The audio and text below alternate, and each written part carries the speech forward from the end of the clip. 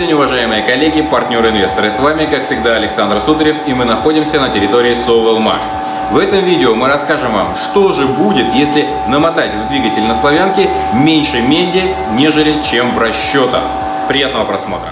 Сегодня я хочу рассказать, что получится с мотором «Славянка», если в него не доложить медь.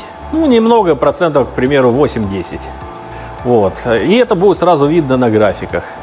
Можем посмотреть как. Итак, график э, славянки, у которой слегка не хватает меди. Э, значит, мощность от КПД. Соответственно, видно, что КПД у нас слегка завалилось там на полпроцента. Переходим к механической характеристике. Вот по механически даже в этом, даже при недоложенной меди у нас механическая характеристика все нормально. То есть славянка э, там на соответствующее количество ньютон на метр у нас опережает классику.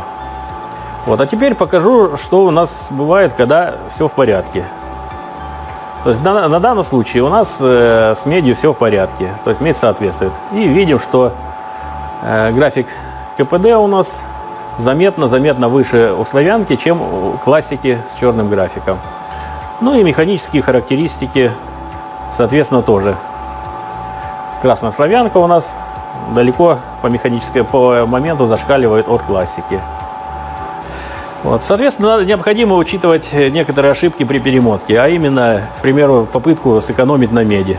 Сэкономите на меди, ну, будет некоторый завал характеристик. Тем не менее, даже с меньшей массой меди в двигателе мы получаем вполне нормальные моментные характеристики двигателя. Э, слегка в пределах погрешности с меньшим КПД.